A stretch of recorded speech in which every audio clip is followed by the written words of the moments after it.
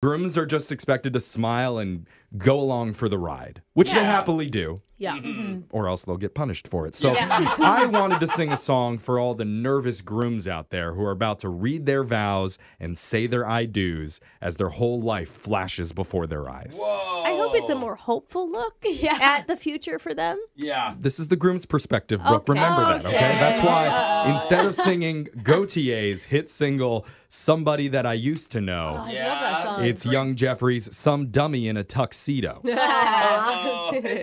right, so I'm going to point when I'm ready.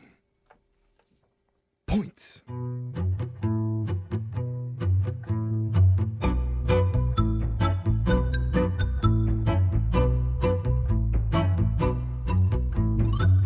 When she asked what kind of plates, you said whichever.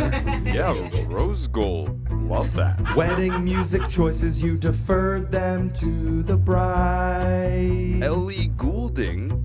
Sure. She put the towels on your registry.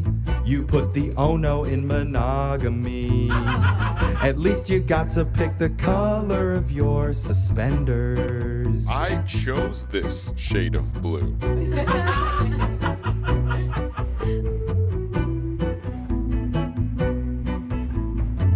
just paid a fortune for a certain type of orchid.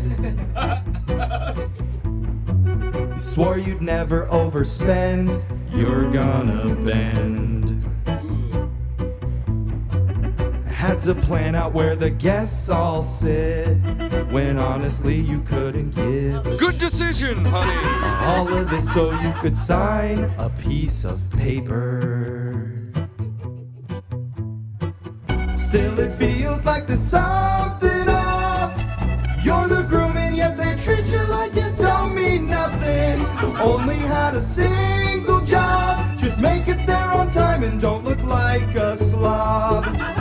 Just think a couple weeks ago, drunk and laughing at the bachelor party with your buddies.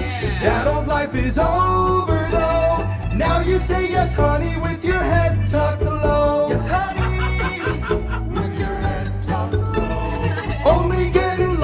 twice a year or so. Yes, honey, your head tucked low. And now you're just some dummy in a tuxedo.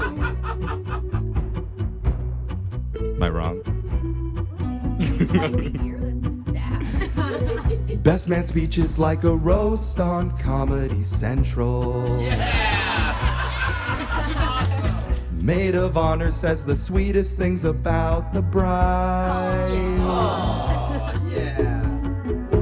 But hold up, did she really just say that at first she thought the groom was gay? Oh. Bride's father lets out a chuckle, but you wonder why your new wife seems to find that so hysterical. You thought that you may really barf